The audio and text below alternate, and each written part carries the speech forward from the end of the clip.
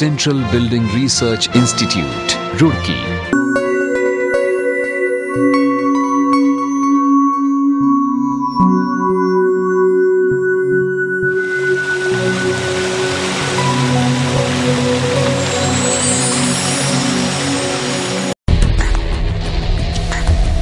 The Earth, a habitat of intelligent beings, bestowed with mesmerizing beauty.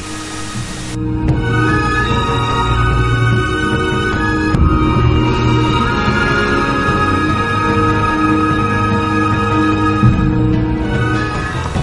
this is only one face of the plates floating on molten lava.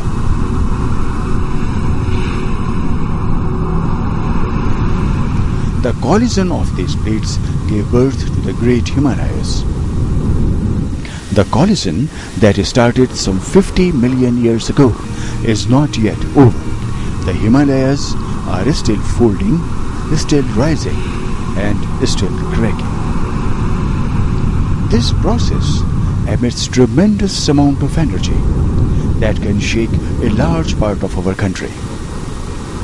The shaking is powerful enough to destroy any man-made structure built upon it.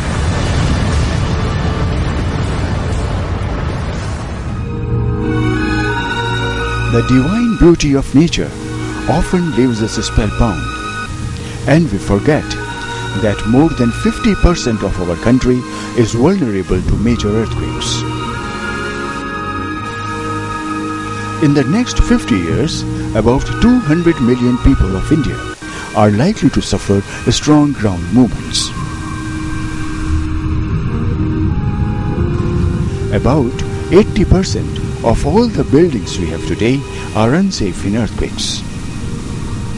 In spite of this, we still construct with traditional construction materials and technologies. Can we really afford to add more of such unsafe buildings to our cities and villages? Science and technology have to step in. Scientifically proven technologies need to penetrate into the Indian construction practices in a most acceptable and user-friendly manner.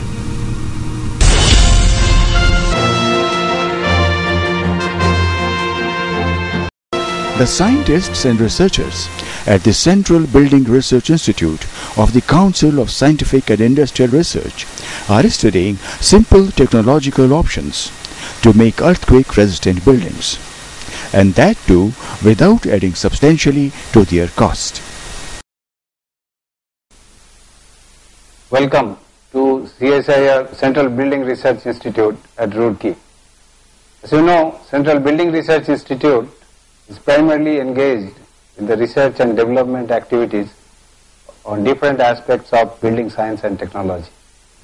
Out of many areas, one of the focus areas of this institute is on the disaster mitigation and its engineering.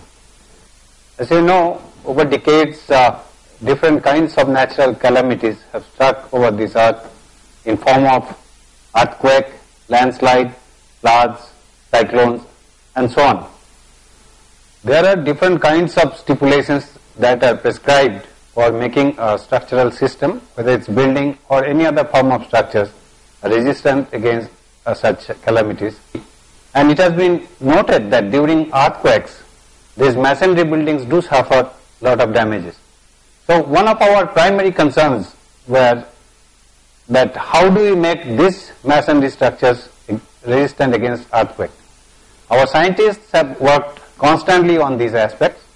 In the recent past, they have developed a system which is uh, of course based on the confined masonry systems that are available worldwide and a full scale testing has been carried out for the first time in this country in our institute to demonstrate that that a confined masonry building is very effective in resisting such earthquakes.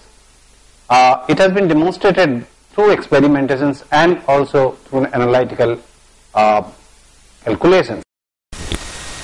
Load-bearing masonry walls supporting a roof is the most common way how houses are being constructed in India from time immemorial to even this day.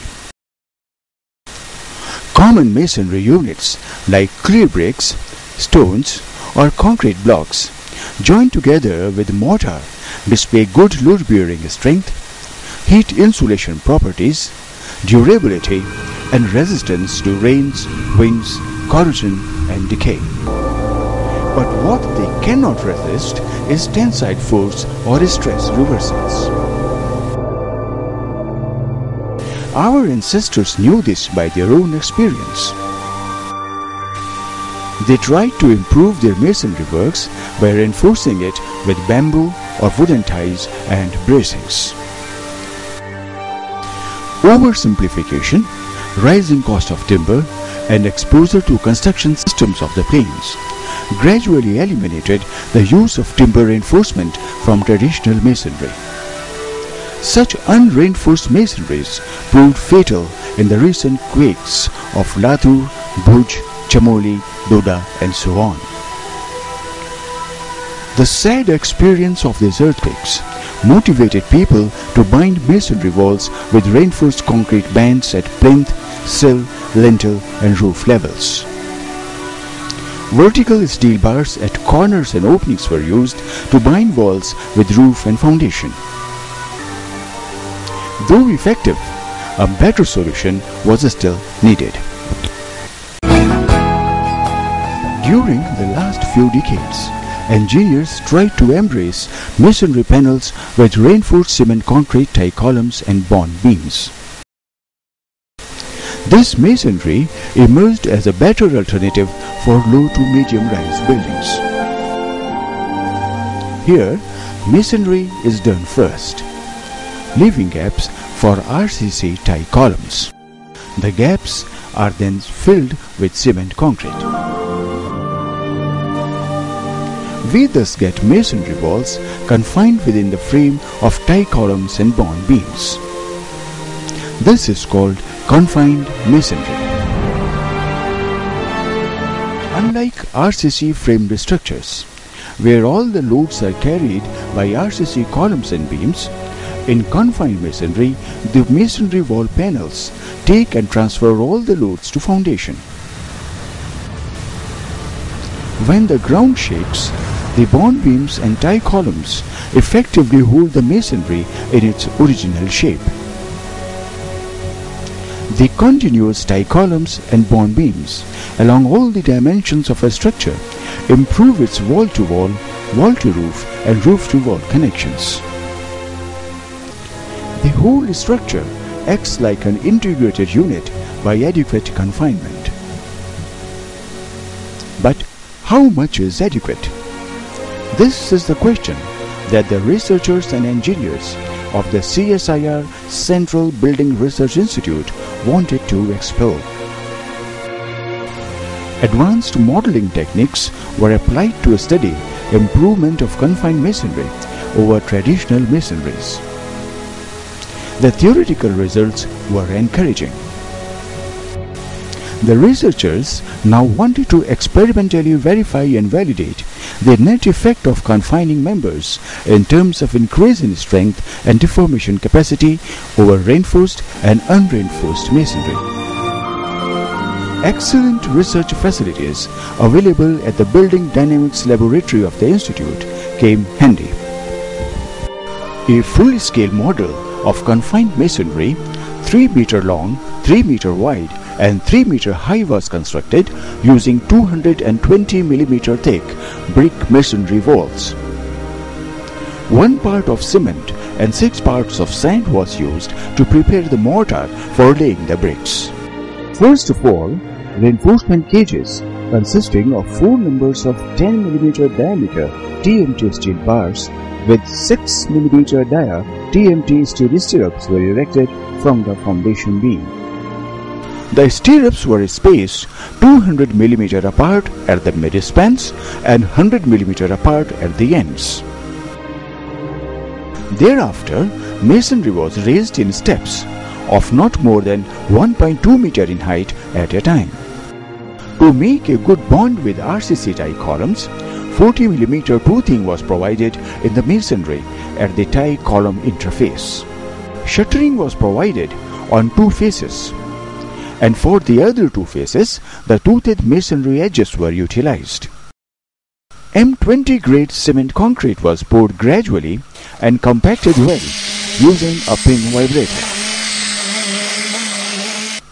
The toothed ends became a part of the tie column and formed a monolithic assembly. Alternatively, about 450 mm long pieces of 8 mm dia steel bars can be placed in masonry after every fourth course. The protruding steel bars become a part of the tie columns and provide a good bond between masonry and concrete. On reaching the door window lintel level, shuttering was provided over the masonry to cast the lintel band or the bond beam. The reinforcement in the bond beams was the same as that in the tie columns. But the main steel bars extended through the tie columns into the bond beam on the other side. The concrete was laid and compacted well to bind the four walls and tie columns together. The steel bars of the tie columns continue through the bond beam and are anchored into the roof slab, thus binding the structure horizontally as well as vertically. After about a month, the experimental model gained sufficient strength. It was then subjected to dynamic loading. During an earthquake, inertial forces are generated at roof level. To simulate uniform distribution of these forces, a steel grillage mechanism was developed. The mechanism clamped the two opposite sides of the test model to apply cyclic lateral loads. Cyclic lateral loads were applied using a 50 ton capacity programmable servo controlled hydraulic actuator having 150 mm stroke length. The actuator applied lateral cyclic displacement loading on the test structure at roof level. The incremental displacement controlled lateral loading was applied at a slow rate of 0.004 Hz to eliminate material strain rate effects.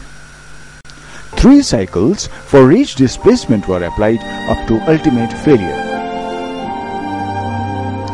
Strain gauges and linearly variable differential transformers, commonly called as LVDTs, were deployed at critical locations to measure deformation of the building.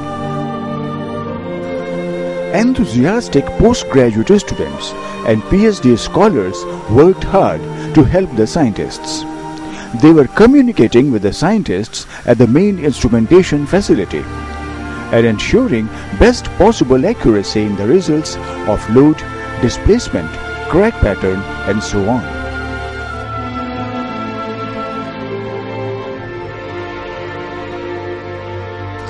A comparative study of seismic performance of different types of masonry buildings revealed interesting results.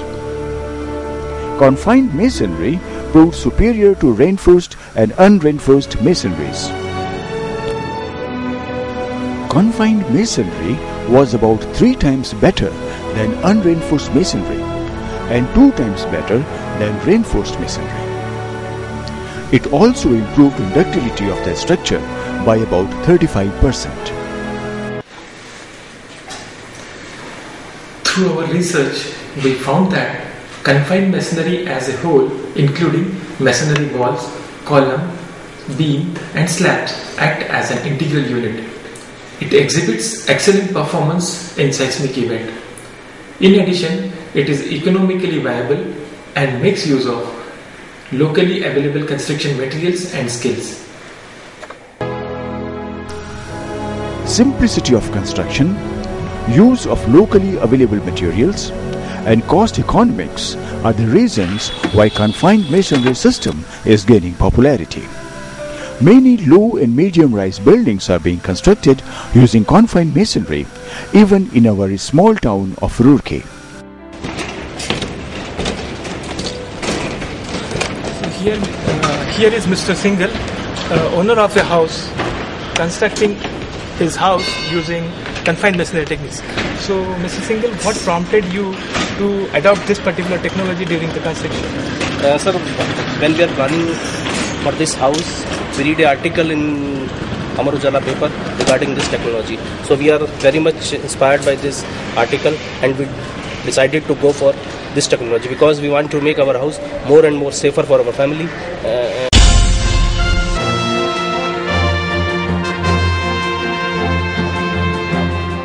Earthquake is one of the important uh, natural calamities that have happened which have caused disasters all over the places.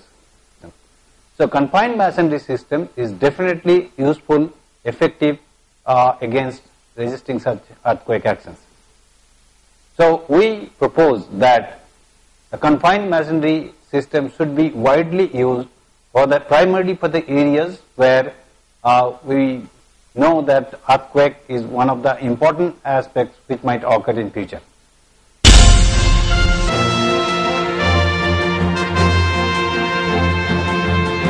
Never confuse confined masonry with RCC framed construction.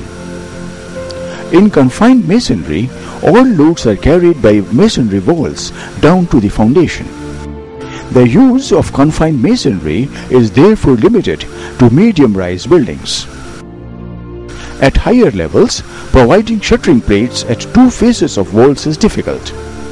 Two 16 mm dia steel bars are placed over previously cast column to support the shuttering plates.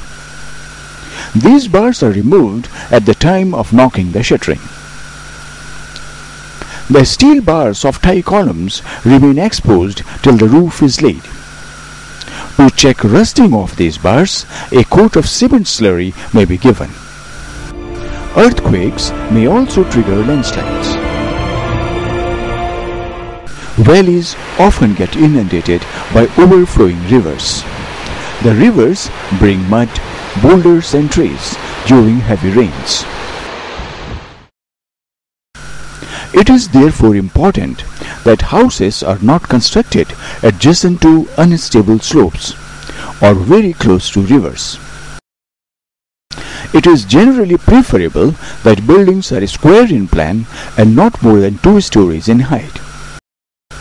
Try to keep room sizes small.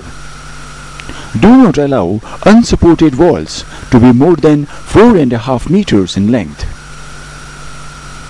Provide adequate supports to walls by cross walls, buttresses, T-junctions and corners. Even the best designed buildings may not provide desired safety if quality is not ensured. Good workmanship and adherence to correct construction practices do not cost much today, but cost dearly on the day when the earth shakes.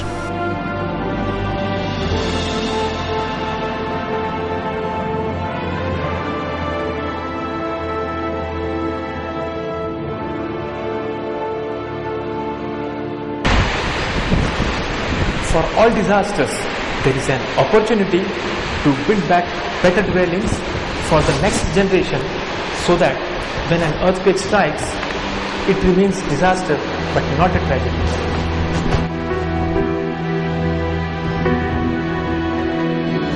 This presentation is an effort of the CSIR Central Building Research Institute, Roorkee, India, to bring simple science and technological solutions at your doorstep